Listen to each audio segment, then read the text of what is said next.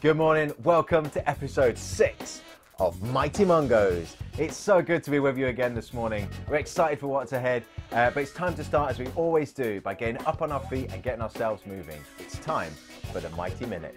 Daddy, Daddy.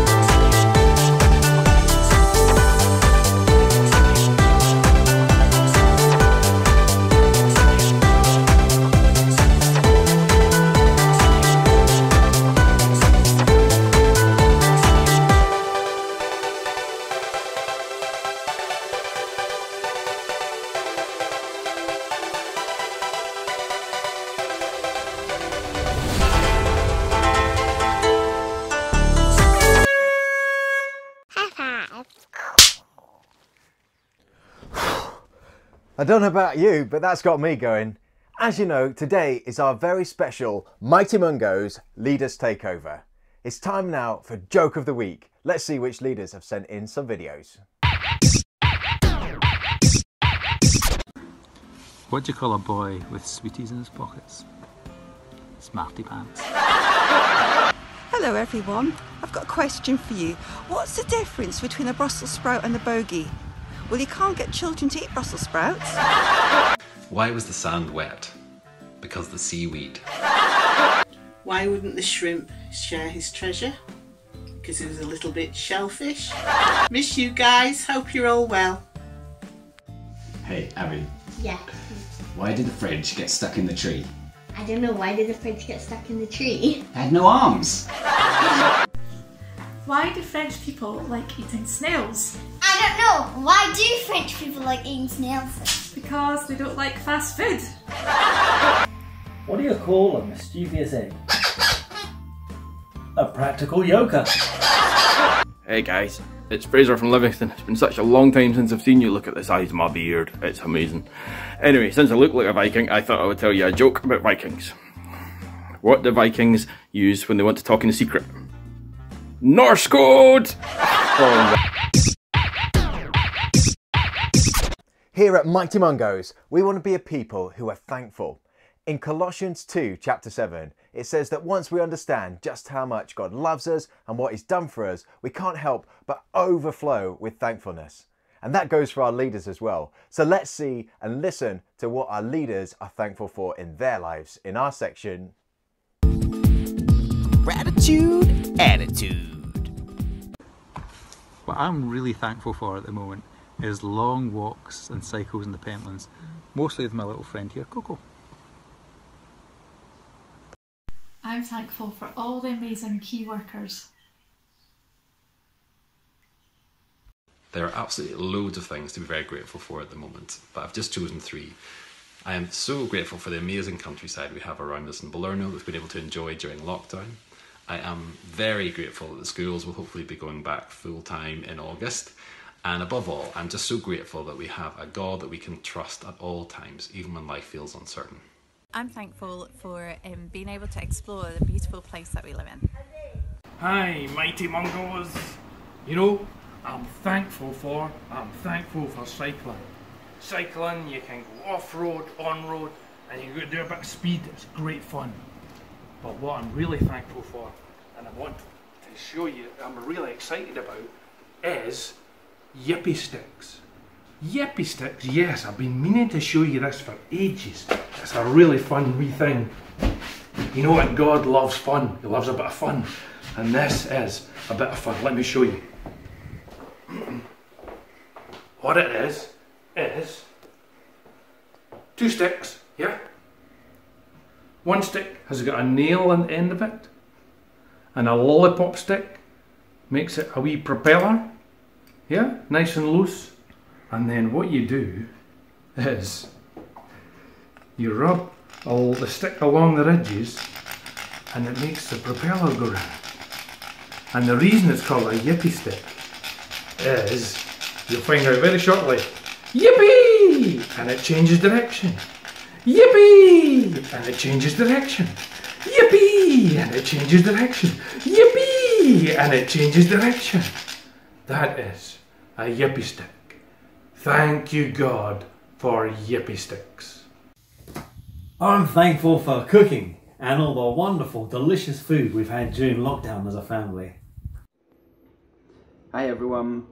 Uh, what am I grateful for? I am grateful for delayed gratification, which is waiting and waiting and waiting for something that you passionately, it badly, badly want. And you sometimes think, it'll never come, it'll never happen.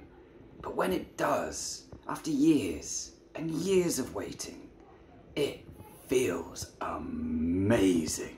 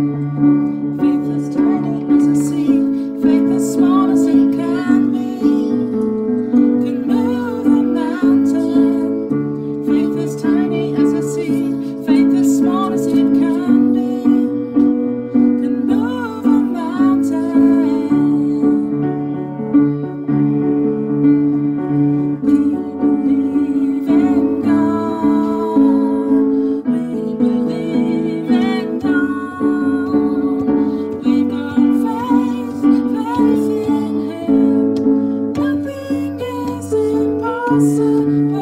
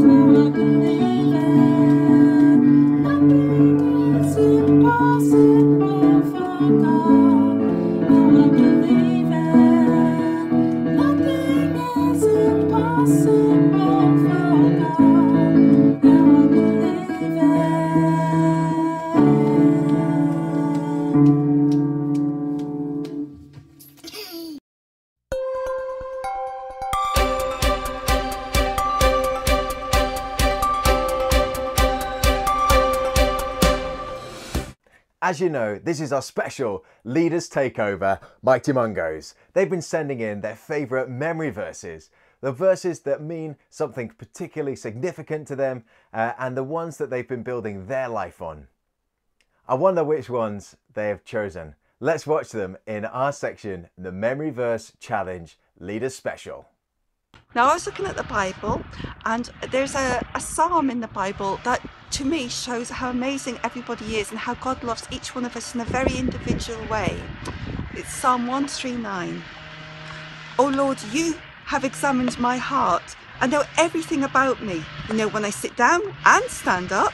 You know my thoughts, even when I'm far away. You see me when I travel and when I rest at home. You know everything I do. You know what I'm going to say even before I say it. You go before me and follow me. You place your hand of blessing on my head. Such knowledge is too wonderful for me, too great for me to understand. Thank you. Psalm 121. I lift my eyes up to the mountains. Where does my help come from? My help comes from the Lord, the maker of heaven and earth. So there you go, guys. I hope you're all doing good, and I'll see you soon. Trust in the Lord with all your heart and lean not on your own understanding. In all your ways acknowledge him, and he will make your path straight. Proverbs chapter 3, verses 5 and 6. Here's one of my favourite memory verses Philippians 4, verses 6 and 7. Don't worry about anything. Instead, pray about everything. Tell God what you need and thank Him for all He has done. Then you will experience God's peace, which eh, exceeds anything we can understand. His peace will guard your hearts and minds as you live in Christ Jesus.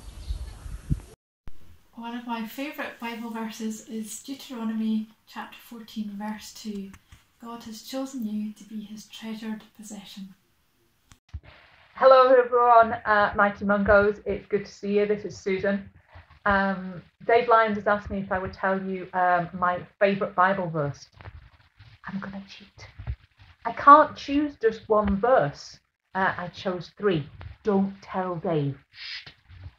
So, um, I like this verse so much that a few years ago I decided to draw it um, in uh, lots of bright colours and I put it up on my wall that was the wrong way around, I think.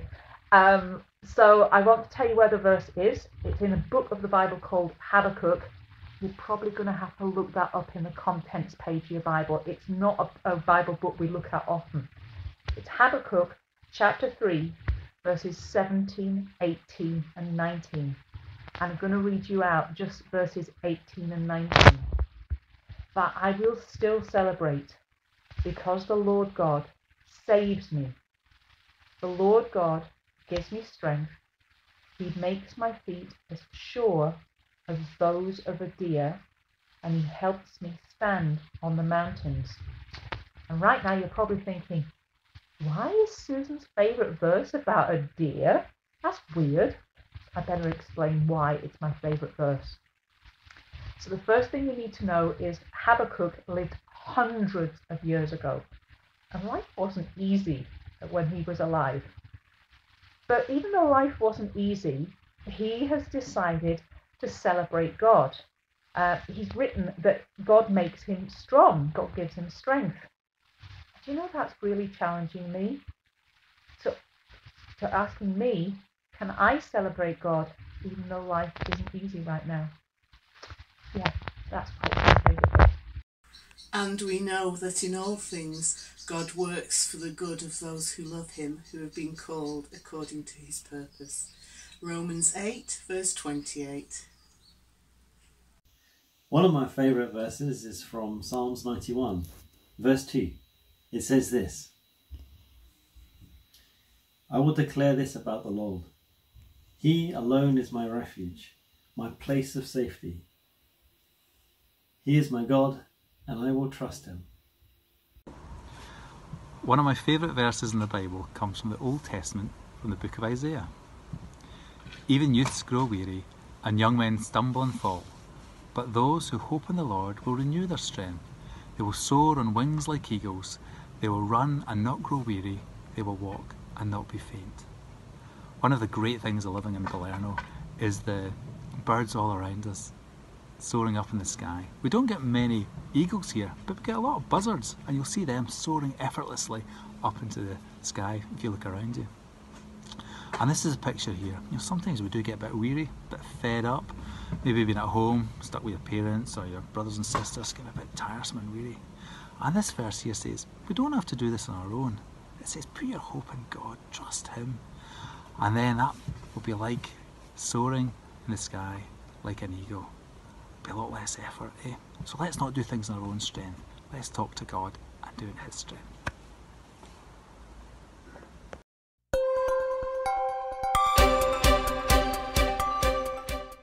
Wow, it's just so good. There's so much good stuff in there. We're going to set you a memory verse challenge for next week. It's actually, we're going to use Mark Stevenson's one. And here's Evie saying it for you. So you can film it this week and send it in so that it's ready for next week's episode of Mighty Mungos when we're back again with videos from you guys. So do send in your jokes, do send in your thankful gratitude attitudes, and do send in this memory verse, which is Trust in the Lord with all your heart. Never rely on what you think you know. From Proverbs chapter 3, verse 5. Because so many of our leaders got involved with our Mighty Mungos Leaders Takeover this week, we actually don't have time for a talk this week. But do join us next week again when we're going to be continuing our series on the names of God. Next week is an absolute belter. We're going to be looking at God, my healer. So join us next week for that. But now our time's almost come to an end. Just before we go, there is, of course, time for my favourite part Family Face Off.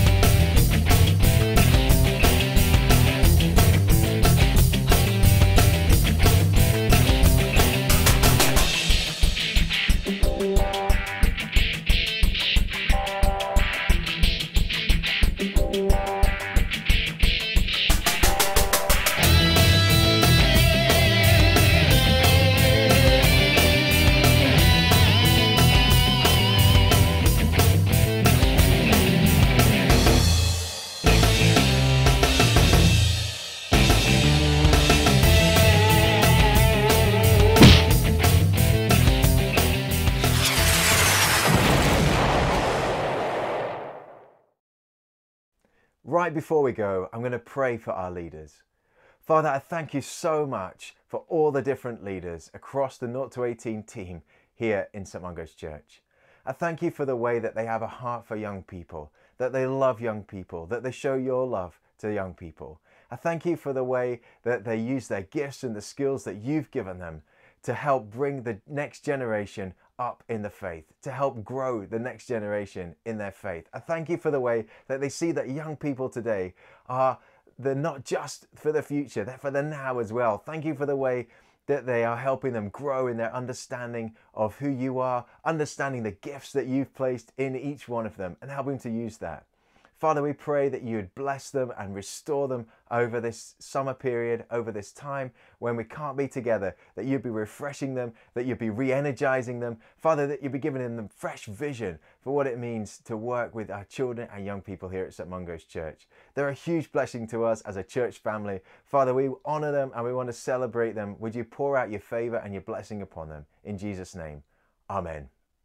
It's now time for you to pop off, nip to the loo, grab a drink, refill your snacks, get up, turn around, stand up, bend down, all that kind of stuff. Get yourself ready, pumped, excited, ready to join us back at 10:30 for the next part of our morning service together.